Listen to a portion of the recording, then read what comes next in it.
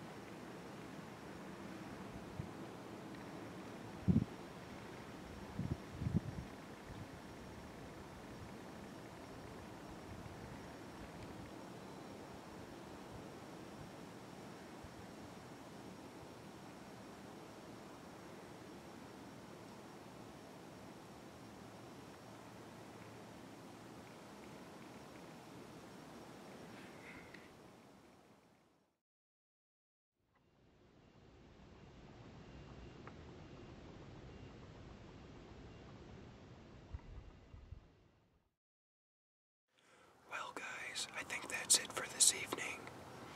Uh, I don't know what the last deer I saw was. It must have crossed the uh, power pole lane. It was just too dark to see. Couldn't tell what it was. I guess this wraps up the uh, traditional nine-day gun deer hunting season. Uh, thank you guys for watching the videos. Stay tuned for the antlerless seasons coming up and maybe some muzzleloader